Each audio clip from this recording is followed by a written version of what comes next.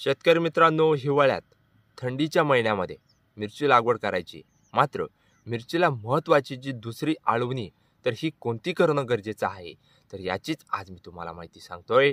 जय शिवराय. नमस्कार शेतकरी मित्रांनो. मी मिलिंद भोर. स्वागत करतो तुमचं मिलिंद भोर या माझ्या शेतीविषयक यूट्यूब चॅनलमध्ये शेतकरी मित्रांनो हिवाळ्यामध्ये थंडीमध्ये मिरचीची लागवड केल्यानंतर मिरची पिकाची रोगप्रतिकारक क्षमता ही शंभर टक्के वाढली पाहिजे. मिरचीची झाडं देखील जगली पाहिजे. मिरची पिकाला फुटवा असेल ग्रीनरी असेल ही देखील जास्त प्रमाणात लागली पाहिजे. त्यासाठी मिरची पिकाला पहिली महत्त्वाची आळवणी ही मी कालच्या व्हिडिओमध्ये तुम्हाला सांगितली आणि आज आपण ह्या व्हिडिओमध्ये मिरचीला दुसरी महत्त्वाची आळवणी ही कोणती? कितव्या दिवशी आणि याचं प्रमाण कोणतं आणि किती घ्यायचे तर याची संपूर्ण टप्प्याटप्प्यानुसार माहिती सांगणार आहे.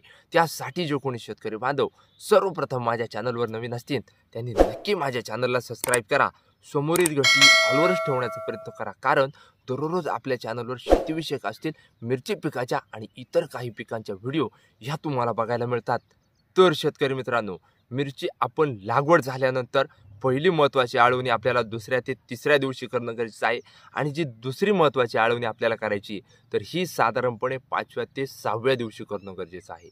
लक्षात घ्या मिरची पिकाला ही सहाव्या दिवशी आळवणी आपल्याला करतेवेळी आधी काय करायचं आहे की सकाळच्या टायमाला ही आळवणी करणं गरजेचं आहे. मात्र या आळवणीच्या आधी आपल्याला काय करायचं आहे की आपल्याला पाणी सोडणं गरजेचं आहे. तुम्ही ड्रिपवर मिरचीची लागवड करा मल्चिंगवर करा पाटपाण्यावर करा.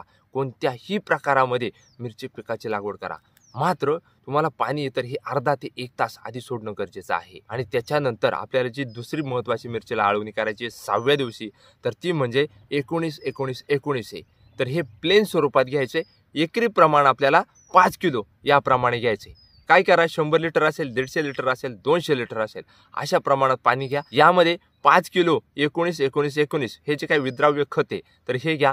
हे एकजीव करा पाण्यामध्ये आणि त्याच्यानंतर प्रति झाडाला एक पेला असेल किंवा अर्ध ग्लास असेल तर अशा प्रमाणात आपण याची ड्रिंचिंग आहे तर ही मिरचीला करू शकतो म्हणजेच आळवणी तर ही करू शकतोय. आता लक्षात घ्या व्हिडिओ शेवटपर्यंत बघा कृपया अर्धवट माहिती घेऊ नका.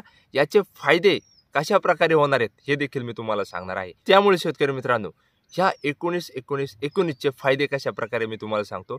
एकोणीस एकोणीसमुळे काय होणार आहे मिरची पिकाला जबरदस्त फुटवे येणार आहे. फुटवे निघाल्यानंतर ग्रीनरी असते तर ही जास्त प्रमाणात राहणार आहे. आणि विशेष म्हणजे आपलं झाड आहे तर हे डेरेदार आणि जोमदार देखील बनणार आहे. आणि मिरची पिकाची रोगप्रतिकारक क्षमता ही जास्त प्रमाणात झालेली आपल्याला बघायला मिळणार आहे. त्यामुळे शेतकरी मित्रांनो मिरची पिकाला दुसरी महत्त्वाची आळवणी कधी कोणती आणि कितव्या दिवशी करायची आहे याचं प्रमाण किती घ्यायचं आहे ही मी तुम्हाला माहिती सांगितलेली आहे. आणि ही जर माझी माहिती तुम्हाला आवडली असेल ज्या शेतकऱ्यांनी अजून देखील माझ्या चॅनलला सबस्क्राईब केलं नसेल त्यांनी नक्की माझ्या चॅनलला सबस्क्राईब करा. समोरील घंटी ही ऑलवेज ठेवण्याचा प्रयत्न करा. कारण कालच मी मिरची पिकाला पहिली महत्त्वाची आळवणी कितव्या दिवशी आणि कोणती करायची ही सांगितली होती आणि उद्याच्या येणाऱ्या व्हिडिओमध्ये मिरची पिकाला तिसरी आणि शेवटची महत्त्वाची आळवणी कोणती कधी आणि कितव्या दिवशी करायची याचे फायदे काय काय आहे याची मी तुम्हाला माहिती सांगणार आहे. त्यासाठी आपल्या चॅनलवर दररोज वेळेवर व्हिजिट देत राहा. त्यामुळे नक्कीच मिरची उत्पादक असतील इतर शेतकरी बांधवांचा शंभर टक्के फायदा हा होणारच आहे. धन्यवाद. जय जवान. जय किसान.